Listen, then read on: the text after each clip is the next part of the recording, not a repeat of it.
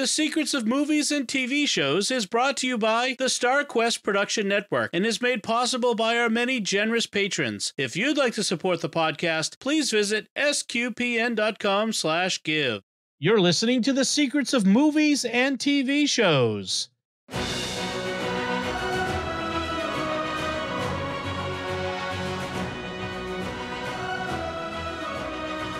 Hi, I'm Dom Bettinelli, and you're listening to The Secrets of Ghostbusters Afterlife, where we will discuss the hidden layers and deeper meanings in this movie, 2021 movie.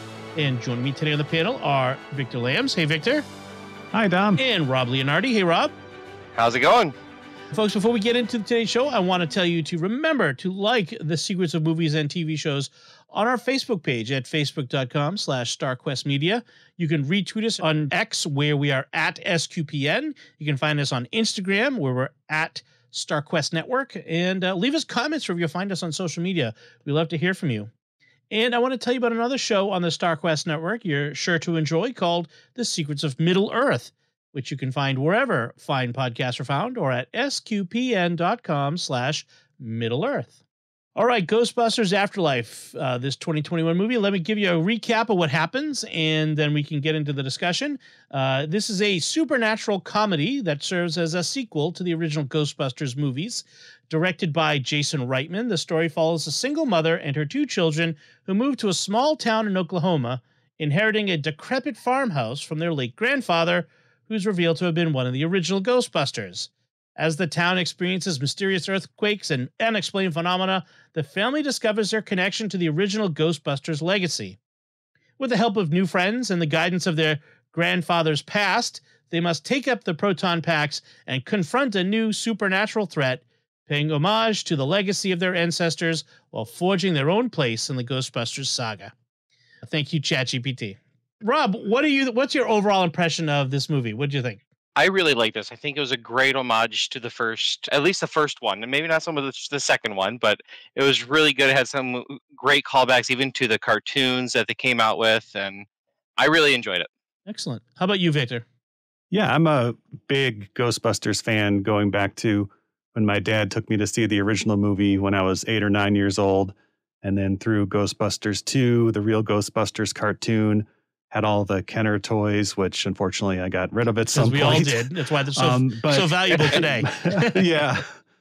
And my kids, my my two younger kids who are nine and uh, eleven, are really into Ghostbusters. We 3D print Ghostbusters props and stuff, and they have outfits and toys. And so I'm a huge Ghostbusters fan. And from that perspective, I really enjoyed this movie. It's watching it the first time. It I thought maybe it wasn't fan servicey enough. Like I was like, why are we spending this time in Oklahoma? Let's get to the mm-hmm. firehouse. But seeing especially what they're doing uh, with the sequel of this movie, I think that was the right call. We needed to close out the story from Ghostbusters one and two a little bit, deal with the loss of Harold Ramis, and I think it's a really good movie. Has really good humor a really good heart, a lot of really good messages in it. So I really enjoy this movie. So folks may want to check out, if they haven't already, an earlier episode that we've done, episode 49 of Secrets of Movies and TV Shows. Way back, we did this in 2020, the original Ghostbusters movie. And so it we did that before this movie existed. But after the 2016 unfortunate diversion, uh, we can talk about that I don't know what you're talking about. we can refer to that uh, in a bit, but I'll put a link to that in the to today's show notes. But I do want to, you know, I liked this. I liked it the first time I saw it. I, I liked it on rewatch. This is a fun movie. It's different. There's much that's different about it, and, we, and uh, I want to get into the some of the differences. But it really feels connected to the original Ghostbuster feel in a way that the other sequels did not, and other sequels and other franchises don't. It really feels connected, and I want to see if we can figure out what it is. What's that essential Ghostbusters DNA that we've retained? So, uh, that said, let's talk about the cast. And one of the things that really stands out to me in this one is they were able to bring back the original cast everyone who's still alive, essentially, nearly everyone. We get one more character that's in the sequel that's coming up very soon after this releases, the a, a, minor character who's very funny. But in this one, we get all of the Ghostbusters. We get Annie Potts, Bill Murray, Dan Aykroyd, Ernie Hudson, Uh, we even get Sigourney Weaver in a mid-credit scene, so it's great to have her. Um, Yep. I was really hoping to see Louis Tully come back. Which one's? Oh yes. Oh yeah. Rick, Rick Moranis. Moranis, yeah. That is. I, I wonder. I didn't look at the cast. Li- I'm trying to. I, I don't like spoilers. I didn't look at the cast list for the the new one, the the, the Frozen Kingdom one. Uh, so I don't know if he's going to come back for that one. That would be fun. I don't think so. I think he, I think he decided to stop doing acting for a, a bit. Like after he did the Honey I Shrunk the Kids stuff, and Huh? I think he just pulled out from acting. Yeah, I remember hearing that he his wife died, and he decided to set aside his acting career for the sake of his kids. So yeah, so yeah, the last thing he did was 2008. Yeah, that would be uh, why I guess. And then there's the new cast too, and so we'll talk about them. Probably the best known act, actor from the new characters is Paul Rudd, who is people know from Ant Man and stuff. But I, I think Paul Rudd's hilarious. I, I don't know. Is that is maybe he's not everybody's cup of tea? I find him hilarious as well. And I like how he was able to tone down certain aspects of his normal comedic. He's got a wide range and he plays a scientist, but has great chemistry with Carrie Coons, who plays Mhm. Callie Spengler, uh, the mom, and then the kids as well. Yeah, I think he really makes the movie as, as the heart and the, the, the comedy of, of the movie. There's one scene where he's walking through Walmart and just like picking up products. And there he's a little bit more goofy. So I don't know if they filmed that scene separately or, or first or something, but we do get to see more of his comedic range in that particular Walmart scene. Yeah, not not only that, but you get the whole throwback to Ant Man with the whole Baskin Robbins ice cream. yes. Oh, I missed that. I think that he, that was a nice time for him just to have a little solo of him being funny. That's true. That's his only really his only scene where it's just him being funny, comedic, and crazy things happening around him. Yeah, that's true. And you mentioned the kids. It's interesting. The this is a movie with the kids as main as the main characters as opposed to adult men. And I don't know if that's more indicative of the times we live in, like that there are more movies that are like that where they seem more focused on kids than adults, whereas this sort of movie would be more back in the 80s, it was pitched at a grown up crowd, whereas now things are more pitched at teenagers. What do you think? I honestly think they were trying to ride the high off of Stranger Things. And they even brought in Finn Wolfhard, which Yeah. obviously was one of the main characters in Stranger Things. And honestly, his character is almost the exact same person, I feel. Yeah, not a lot of range there. just, Yeah. yeah, it was just, oh, it's here's Mike again. That's true. um, Yeah. but I think McKenna Grace, who plays Phoebe, I think she did a phenomenal job because I know her from Young Sheldon, and she's a little different in Young Sheldon, but you have that really awkward but absolutely hilarious, a lot of deadpanned comedy happening. Right. yes, her penchant for horrible dad jokes and riddles and stuff carries through the movie. And, and uh, yeah, she, she does an amazing job. She's definitely also the one of the centers of the movie and carries it. I think it wouldn't without the strength of the child actors, Mhm. including the, the character podcast played by Logan Kim, who I adore too, is the younger version of Ray in this. yes. Yeah. Yeah. yeah. Yeah. That's the interesting thing is that each of these characters, like the kids, has their the, the version of them from the adult cra- you know, group. So you have McKenna. I got to look at the cast list because I can remember the names. I always have to do this. So Phoebe is Egon. Trevor, uh, played by Finn Wolfhard, is definitely the Peter Venkman. Um, I don't know because podcast Ooh. is totally Ray, Ray. and the girl Lucky is Ernie, uh, is Winston. Winston. Yeah, I actually think Finn might be more of the Winston and Lucky might be more of the Venkman because she's got more of the jokey attitude and stuff. So Mm. Yeah, I can see that with I the just- whole like the oh, here's my hoodie, borrow it. Oh, it's my boyfriend's. Yeah, yeah. yeah, I, But at I- the same time- I think there's some room for inter- interpretation. Yeah, at the same there, time, I think they blended them well because Phoebe is has a lot. Uh, Phoebe's very strong in the com- comedy, I think, which is the whole Venkman vibe. Yeah. And, and what I really like, so McKenna Grace, the actress who plays Phoebe, she's actually made a career uh, in scary movies. She's been in, as a kid, she's been in Return to Amityville, one of the Annabelle movies, The Haunting of Hill House. As a little girl, she's been in some scary stuff. and then you got Finn Wolfhard from Stranger Things. So I think they were really leaning on these kids coming from a horror background, but bringing it to a comedy horror sort of film, which yeah. I think works. Yeah. And I think Ghostbusters, certainly after the movie came out and it was a runaway hit, the 1984 movie wasn't intended to be a kids' movie, although they did tone it down a little bit to get the PG yeah. rating.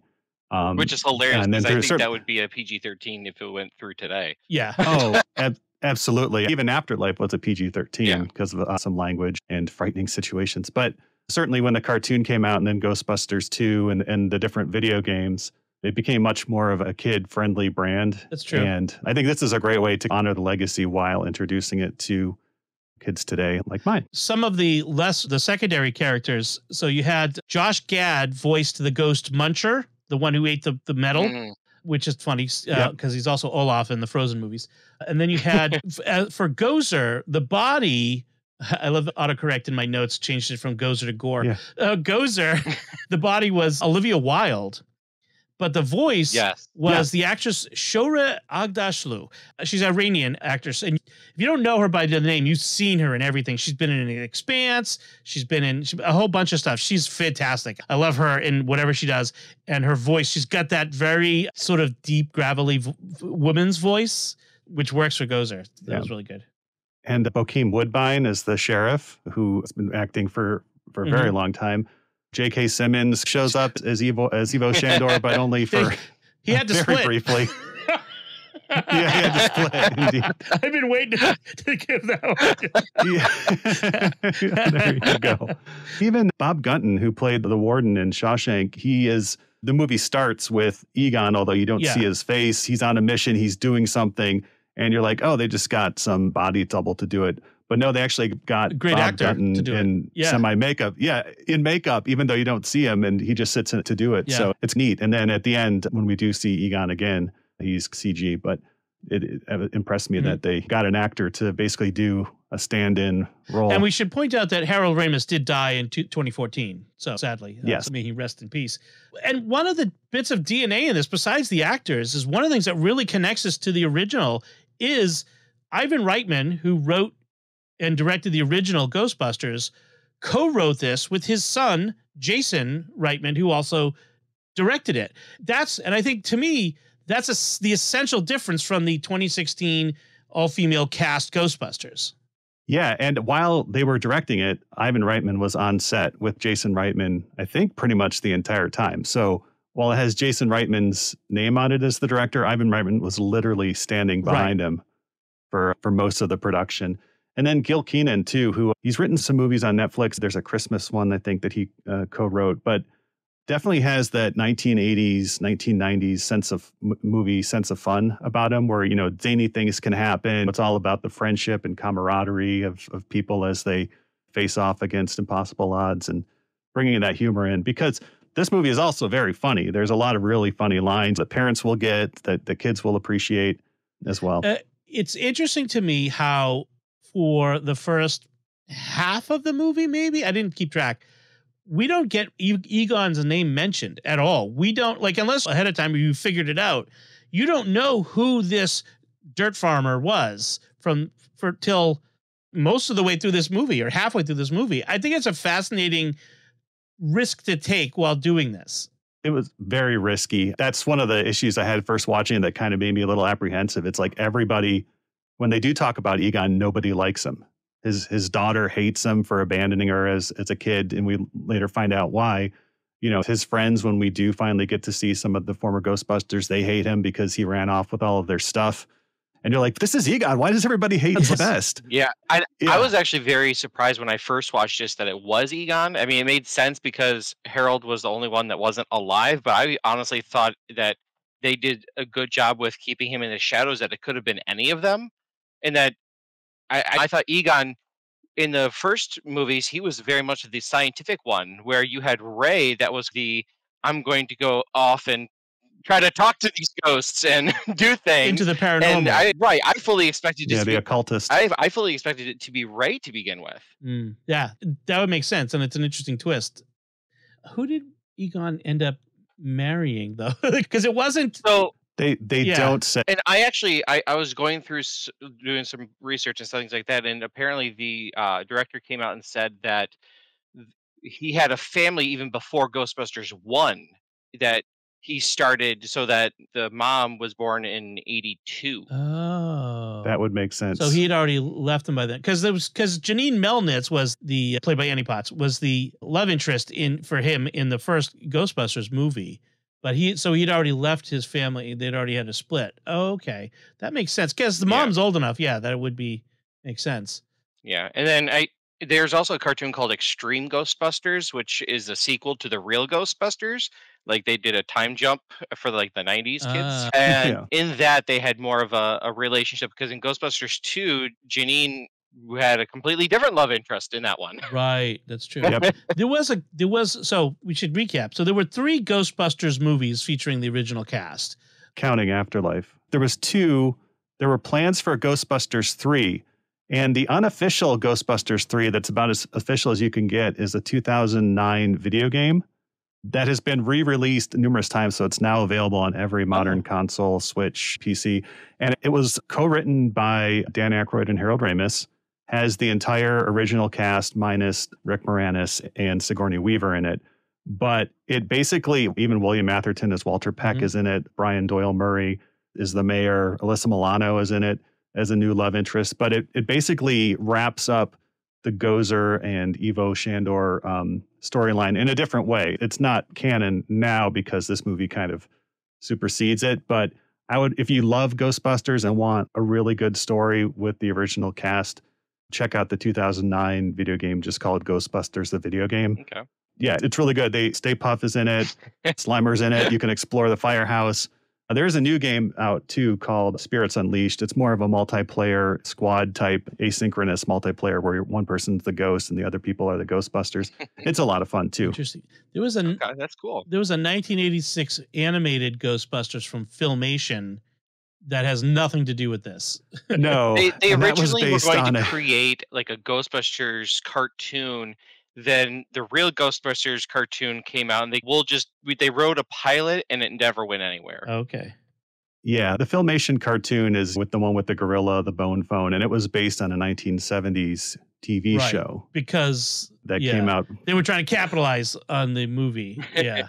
Yeah, and they almost did weren't able to call Ghostbusters Ghostbusters because of the pre-existing TV show. They were going to call it like Ghost Smashers or Ah. something. And There's also Yeah, I know. and Good. I was gonna say I know in like Extreme Ghostbusters. I bel if I remember right, because I I was able to get the other ones for my lo- local library, the co-op that with the library, but I couldn't find any of the Extreme Ghostbusters. But I remember that as a kid. I remember Egon and Janine having a, a relationship in that one, but they were all like a little different in that one. Was there Yeah. another s- animated series, or maybe they're, it's in production? Ghostbusters Ecto Force. I think it must be in production because Gaten Matarazzo, yeah, that would be another one. Stranger Things alum, is listed as being in the cast of that, but nothing else. So hmm. There's also a, a VR video game as well, Yeah. so that that might be the the It's VR currently video on game or something. okay, Okay, yeah, I've seen ads for the VR video game. In any case, uh, so then there was these two, and then there was the 2016 movie, which was confusingly just named Ghostbusters. no one, no two, no three, and there was a lot A of parallel universe. Yeah. it's been retcon. The title's been retconned, so it's now Ghostbusters Answer the oh, Call. has it? Oh, Ah. okay. Yeah, a lot of fan pushback on that, and it was interpreted to be like, oh, because they're women. And I, I don't think he- that was for the primary reason. Ivan Reitman was attached to that, by the way. Let's just put it put it out there. He was one of the co-writers. I love Paul Feig. He's from around where I live, and I liked Freaks and Geeks, his show that he did. He did a TV show called Other Space, which is only 11 episodes, but it's hilarious. But he didn't make a Ghostbusters movie. He made a Paul Feig comedy. And I, I love all the actresses who are in it Leslie Jones, Kate McKinnon, Kristen Wiig, Melissa McCarthy, and of course, Christopher, not Heyerdahl, but Helms, Helmsworth. All really good actors. There's a lot of funny humor in it, but it's not Ghostbusters humor. They didn't double down enough on like kind of more horror and supernatural aspects of it. It was pushed aside just so they could make wacky jokes. Right. Right. Yeah, I, I'm looking at looking at the cast because I never saw that one because I just didn't really float my boat. But apparently, uh, all the the original Ghostbusters came back in different roles for it. Yes. Don't watch it for that because they basically destroyed their legacy in these roles. Bill Murray famously wanted to die in one of the Ghostbusters movies, just like uh, Harrison Ford wanted to die in a Star Wars movie. So he basically comes back as just this guy who falls on a window and dies. Right. Oh. Right. Yeah, that's his cameo. So let's talk about this movie that we, we're talking about. One of the things I really like about Phoebe and because and Egon is they are non-neurotypical, shall we say? This is the, modern language that we use. They are, we would Yep. say, either on the spectrum or autistic. And Phoebe comes right and says she doesn't express emotions like other people do. She express she has them on the inside that you just don't see them on the outside. And that's one of the things I really love. I've got non-neurotypical kids. I love the idea that I'm I'm not super into representation as an end uh, in itself, but I love the fact that the hero of this is a young girl who is non-neurotypical, and that actually helps her to win the day in this, which is uh, satisfying. Yeah. Yeah, when they I- come across Muncher for the first time, podcast is freaking out, and she's overstimulation calms me. Yeah. All right, That's right. That's awesome. And that's a, a callback to the original movie where they're facing off against Gozer and, and Egon says something like, uh, Ray, I'm terrified beyond the capacity for rational thought. you freaking out. And just- yeah, right. yeah. that was great. Yeah, I like that. I liked her friendship with Podcast too, because Podcast is another outsider. We're introduced to him in the uh, summer school classroom, and he's, Hi, I'm Podcast. And, and she's like, Why do they call you Podcast? And he's, I call me, myself Podcast because of my podcast, which is I- I such could- a podcaster thing to say. I could totally see him as like a, a kid nowadays trying to make a Jimmy Akin's Mysterious World. he's a TikToker or Oh, a absolutely. YouTuber or a, yeah. Or 30 years ago in the Goonies, it was oh the Not Chunk. no but- the Asian actor who was just in every everything everywhere all at once. Oh, Getty Watanabe? No. Or, No. not Getty Watanabe, Um, but. Key Oh, Kihu Yeah. Quan, yeah, uh, yeah Data. yes Data in in the Goonies. Whether he's the video camera or the recording, but he's I imagine myself in this future career thing kid. I love the fact Yeah. that his podcast is entirely contained on a thumb drive. He like he doesn't post it anywhere, or maybe he does, but he carries around a thumb drive with all the episodes on it, which I guess I should start doing. Yeah. Here you go. Listen. Yeah, and there's a touching moment with Ray at the end where it turns out Ray is a single listener and has been like listening all along. Mystical Tales of the Unknown Universe, which, if that's not a Jimmy Akin's Yeah. Mysterious World uh, title, I don't know what is. that I felt a real affinity with podcast in this one. And then you have the mom. She's really offbeat as a mom. Like if Egon had a daughter that wasn't exactly like him, she is an unconventional mom instead of building their kids up. She says things like, "Yeah, you're an idiot," or "What do you know? What you like? Don't go, don't be yourself." That's what the thing, which they Yeah. both know is a term of endearment between them. I did like that. So when we first meet the Spenglers, they're being evicted from their apartment in I think New Jersey or something. I or Don't if it's- Chicago, it's maybe explicitly stated. because they had Illinois Chi- plates yeah, on, the, on Chicago. the station wagon. Yeah, Okay. Yeah, and so they their their grandfather or father has just died, and so they have to go out to the house, but they have no plans to move back because there there's no life for them there, and yeah, so I I, I think very good representation of the broke single mom who's very weary, very cynical, feels abandoned by her father, and that's defined her and her the father of her kids, and that's defined her, and humor is one of her coping mechanisms there. But very funny joke when they arrive in this one horse town or this Podunkville in Oklahoma. Trevor is with his cell phone trying to get a signal and says, There's no bars. There's no bars here. And she says, Oh, there better be a bar. yeah. yes. And then they get to the house and it's this broken down, awful. Like I could smell what it smelled like. You know what I mean? You like that, that musty smell of this ancient place that's not been taken care of. with quotes from Revelation written to make it as creepy as possible. Which is as- a as great they drive callback up. to go, the first Ghostbusters because that's what Yep. Winston and Ray say to quote, although they misquoted as Revelation seven twelve. Yes, it's uh, six twelve, right? Six six yeah, twelve. they yep. get it better, and yeah, they get it right in this one. Yep. And Ray's tattoo Ray's is tattoos correct. on Yeah. it, and it's all over. Yep. But was it was June, right? That that when they arrived there, right? Yeah, it was just after Yeah, the 'cause school year. some- June twelfth, Yeah. maybe. I kept waiting for the because Oh, Revelation. I was waiting for that Oh, six yeah. twelve to refer to June twelfth and then to come out and say Ah, okay. maybe that got cut or something, but I was waiting for that to come up. It was weird, but yeah, it's, it would be funny if that was the the case. Yeah. And so in the house, it's very clear that there is a, a ghost or a spirit there because at the beginning of the movie, we see the, the dirt farmer. We don't necessarily know who he is. He is killed by a, a supernatural force, but before he is able to put a ghost trap into the floor hidden behind this kind of sliding Mhm. puzzle of the uh, floor tile or floor. And it's very clear that there is some paranormal entity there. Phoebe sets up a chessboard and finds that the pieces are moving.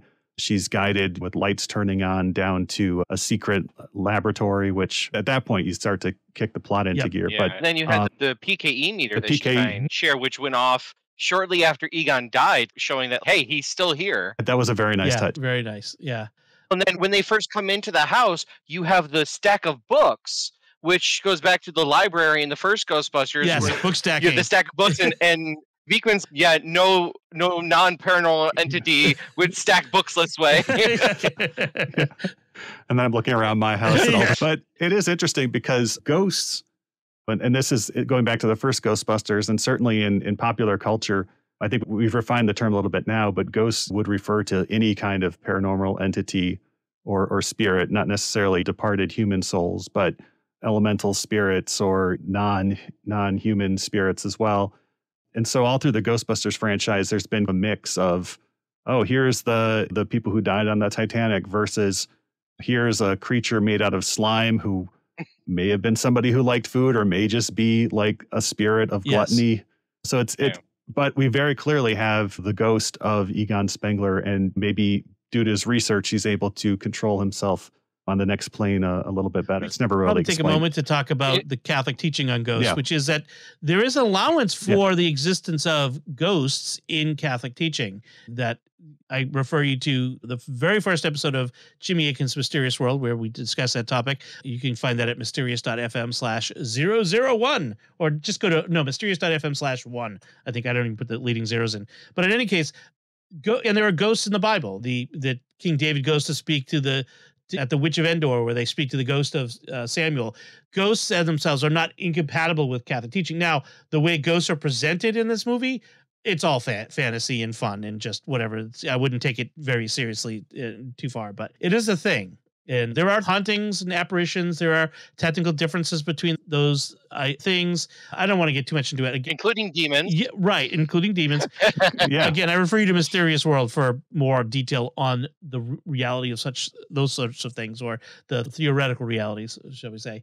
We should mention what Revelation six twelve says, just to close the loop on that. It says, "And I beheld." This is the King James version because it's cooler when you say it that way. and I beheld when he had opened the sixth seal, and lo, there was a great earthquake, and the sun became black as sackcloth of hair, and the moon became as blood. You don't get lows in like the good news version. Yeah. And as a result of having this written on his property and just basically tilling the land and not farming dirt, and later on we figure out what he's been doing with the land and why it's so important to the future of humanity. The people in town just refer to him as the dirt farmer. Nobody misses him now that he's dead. We're talking about Egon here. And it's just another one of those things. It's why is everybody being so mean to Egon? But he's vindicated Right. at the end there. But he does have a really cool underground lab, which you can access, of course, through a fire Of course. underneath the lab's garage. And lots of really good callbacks there. His collection of spores, molds, and funguses that he mentioned he was collecting and is, is there.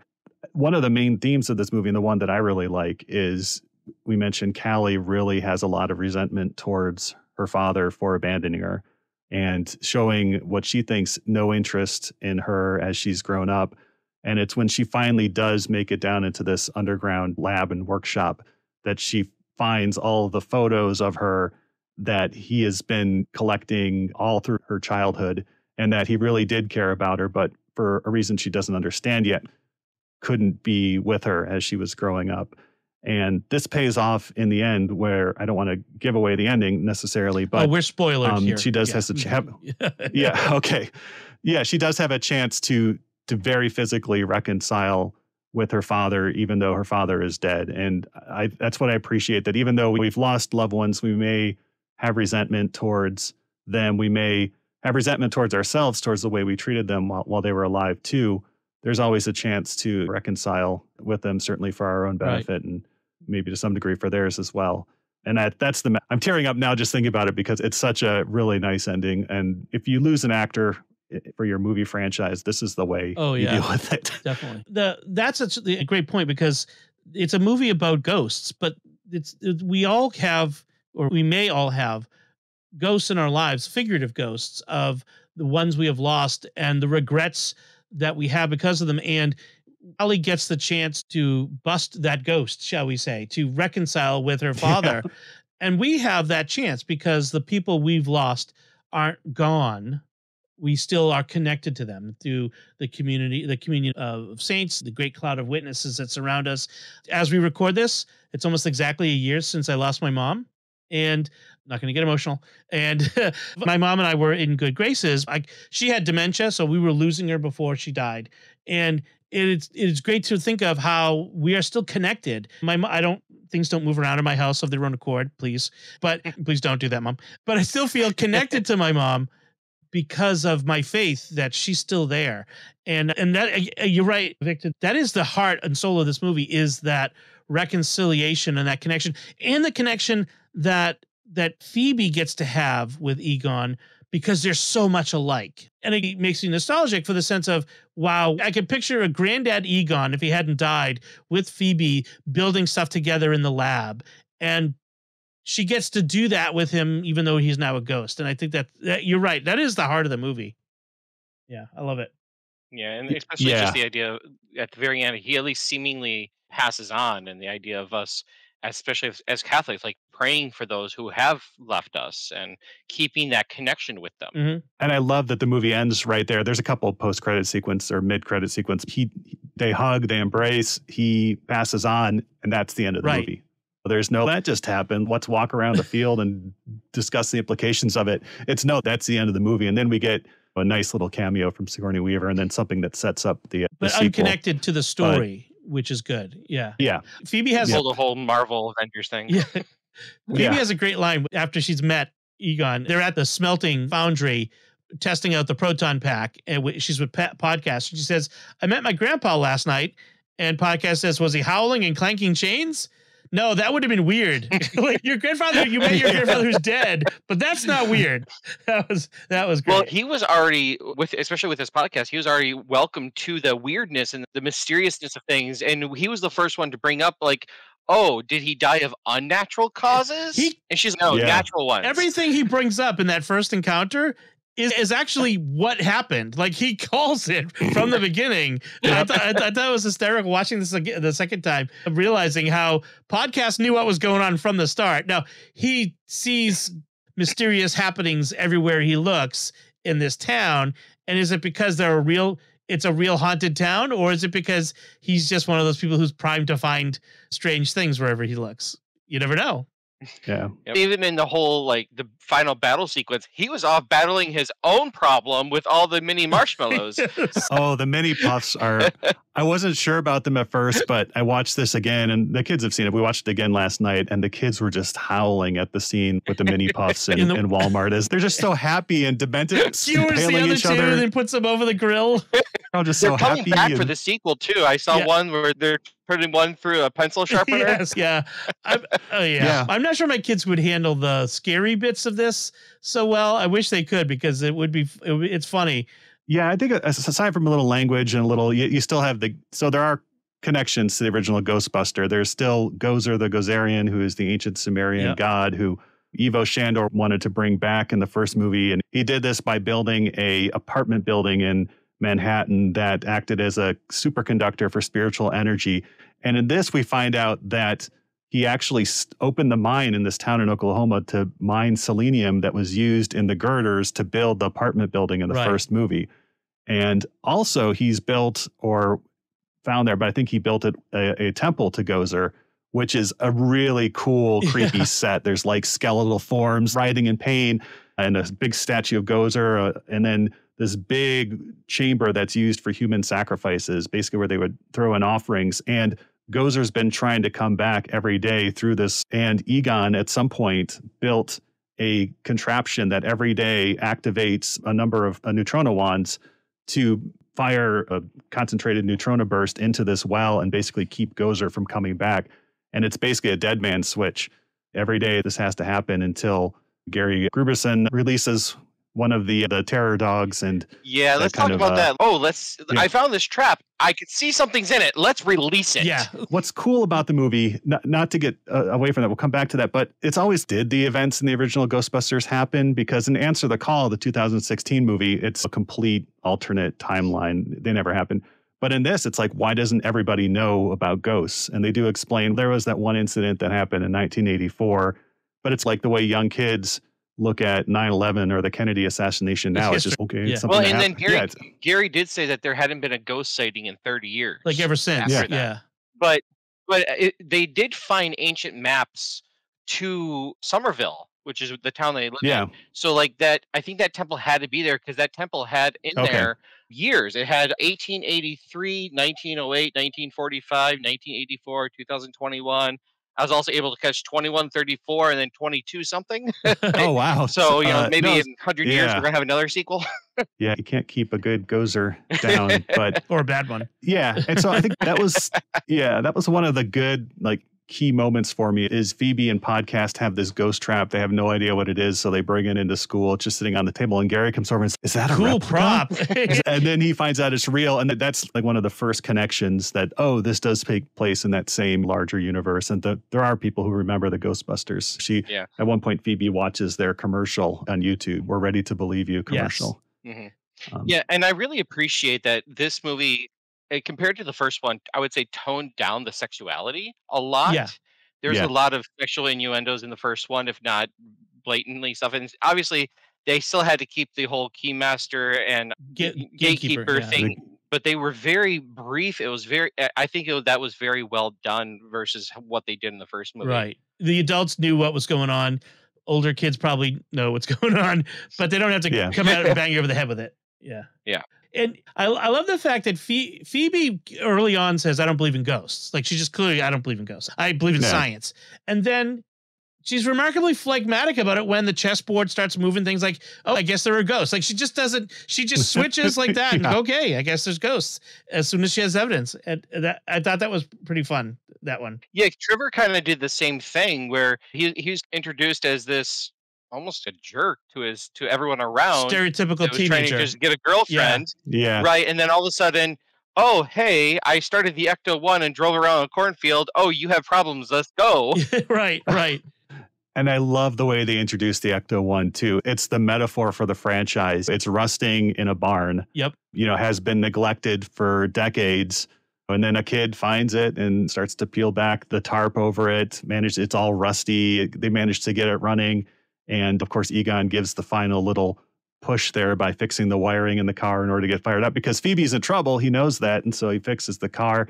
And and I do like that there are a couple little extra surprises with the Ecto Oh, One yeah. too. Yes. The the uh, remote control trap. the remote control trap. That was Yeah. and the, the the gunner gunner seat is seat. I think is it's- awesome. And then I and then they even in the next one they even added more stuff to it. So Yeah. I'm excited yeah, for I can't wait to see that. uh, that. Although that remote control car with the ghost trap is a fast because that car was the Ecto Yeah. One was going like seventy and super battery. It must be like nuclear powered, but it's Yeah, it has a Well, and then they did it did the exact Yeah. same moves as the Ecto One too. Like it skidded on its side and it was awesome. It was I, I really like that one. Yeah. yeah. you had to have a scene where they're going through the town, chasing a ghost, blasting everything. That's like a, an homage to the original. You have to have a scene where all the ghosts are released and come out in the town. Yep. And, and although there was no catchy pop tune associated with it, remember in the Yep. original there was a catchy pop tune as the ghosts were going through New York City. You didn't really have that this time. I found the music interesting. There was a I li- great part, speaking of the music, where the kids were were going up to the top of the teenagers going to the top of the the, the mine, and you had the pop music, and just underneath it was the orchestral creepy music that was rising, and then eventually overpowers the pop music. I thought it was a great way of using music to give you an indication of what's going on. Something's coming up from below. Yeah, we, we do get a lot of the from the original movie. We get a lot of the Elmer Bernstein Firehouse or main Ghostbusters theme. That's the kind of Yep. piano music, that kind of quirky theme. But then, yeah, you're right. Instead of getting 80s music like we got in the original Ghostbusters or a lot of Bobby Brown in the 1989 movie, it's pop music and soul music from the 60s. We have a Funkadelic song on, Mhm. on there. a bunch of other. And I thought it was really interesting. I don't know if Dan Aykroyd had a hand in picking the music or if it was the other producers, but it adds to the timelessness Right. of it as well. They they created a new song for the Ghostbusters and created a new song for Ghostbusters 2. They didn't create a new song of Busting Ghosts for this Right. one, which is I was able to go back and they have the music videos on the Blu-ray and, and it, they're hilarious to watch uh, Oh yeah. because it's all like 80s Yeah. music videos. But I was I don't know, I was sad that wasn't a thing for this But one. we did get the original pop song at the very end, which Yeah, they're just so good. Just I, I love that that Yeah. song really takes me back to this to, to the original and really connected this in that way. And it had to come at that emotional moment at the end of the movie. I really I, I was really glad that we eventually did get it. and then McKenna Grace does a song on the during the Does she credits too. really? I didn't know that. Yeah, the song "Haunted House" that was after the Ghostbusters theme is her, I believe. Yeah. Gruberson, the Paul Rudd character, which is a great Gary Gruberson, is in, Yeah, names are great in this. Yeah, He's in town as a sort of undercover seismologist. He's got a job as a, a summer school teacher where he's really there just to check out this weird seismic activity and that Phoebe knows all about as she's looking at the charts. And he becomes the that connection to the past who reveals to the kids what's going on. And there's that great moment where they're going to they've got the trap, they've got it hooked up to the battery on the bus, and uh, podcast says, "Is this safe?"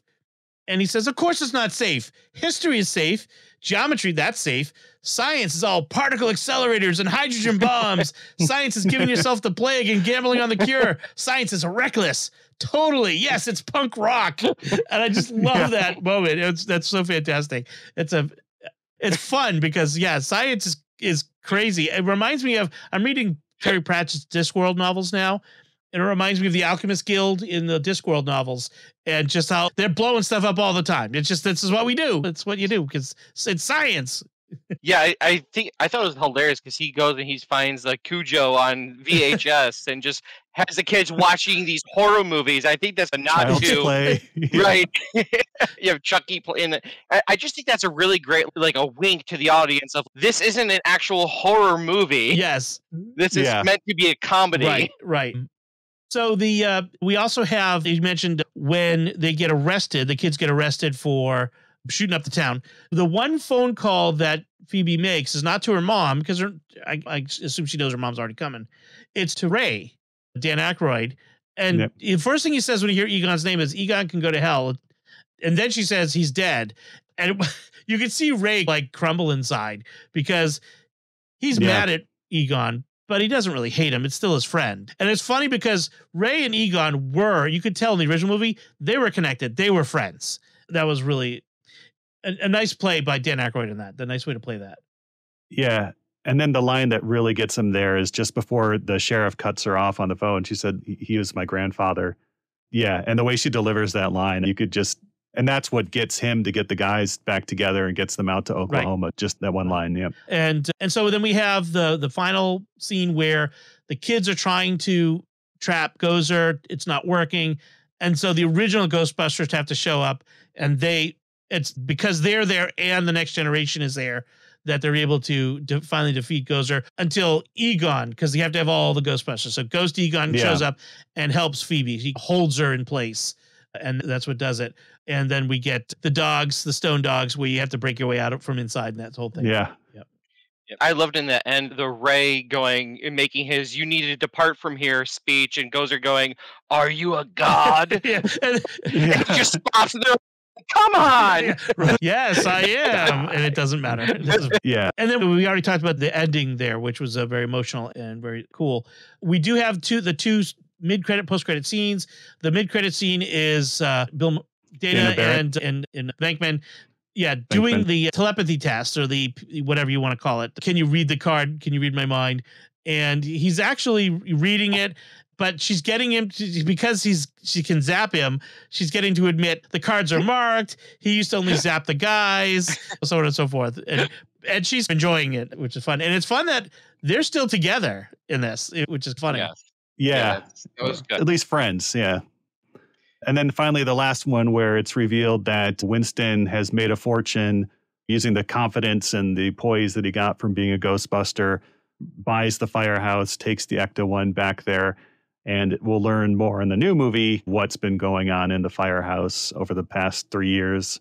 What it looks like there's some sort of laboratory or something going on there. So we'll find out. Which more about which s- that actually surprised me a bit because Ray said that firehouse got turned into a Starbucks. Maybe he bought it. Maybe he bought Yeah, it back or, or- something. The containment unit's still down there. and then yeah, the contain- I love the last shot of the containment unit where the warning light is blinking red. Something bad is coming, Yep. and that's Yeah. fantastic. Um, uh, and in fact, Peck is coming back for the next movie. We saw him in the trailer for the Yeah. for the Frozen Empire movie, which will be good. I love that scene. He's gonna do you. I'm not turning it off. The you know, the the Con Ed guy. I'm not turning Yeah. it off. I'm not touching it. that was great. Oh man. So we talked about ghosts and the legacy of ghosts in our lives. We could we, there's other things we could talk about, but the tension between the supernatural and science. But for that, definitely listen to Mysterious World because that's we talk about that all the time there. Anything else you want to talk about? Any other notes on this movie before we wrap things up, Victor? I'm just really glad they made it. It's a very good continuation of the stories. As I mentioned, Ghostbusters has been a part of my life since seeing the original movie with my dad, and they did it. They they did it right in this movie. Excellent. Rob, anything left to say? I really enjoyed it. I wish that we could have seen more of what Egon was doing beforehand. It obviously we saw the after effects of it, but he caught seemingly the gate or the keymaster, and that's who was released. Like, how did the keymaster and the gatekeeper come about if he already had this failsafe happening? Right.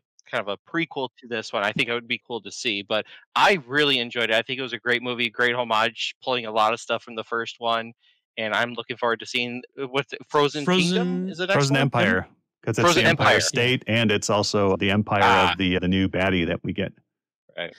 And Frozen. So we'll probably have some. We'll Yes. have references to Elsa. Uh, I'm sure. Just- let it go, Ray. Let it go. That'll be Venkman. Excellent, excellent. I guess that should wrap it up this discussion. And before we go, we always want to take a moment to thank our patrons who make it possible for us to create the secrets of movies and TV shows. This time, we want to thank Joseph R, Kelly W, Curtis C, Teresa M, and Marcello P.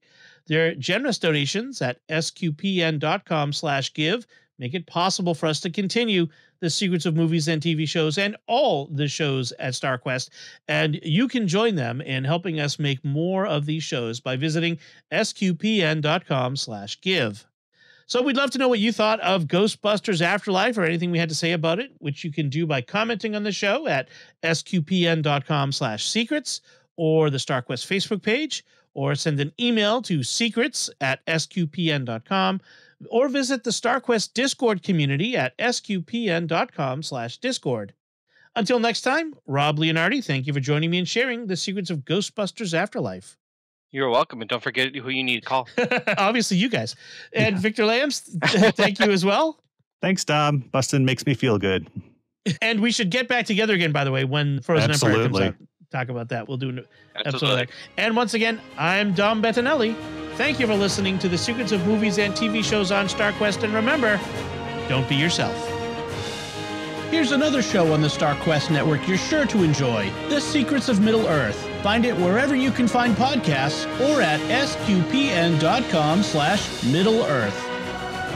We'd like to thank Patrick McCaffrey of Moonshadow Studios for editing this episode. To have your audio edited professionally and with care, check out more of Patrick's work at moonshadowstudios.biz. That's moonshadowstudios.biz.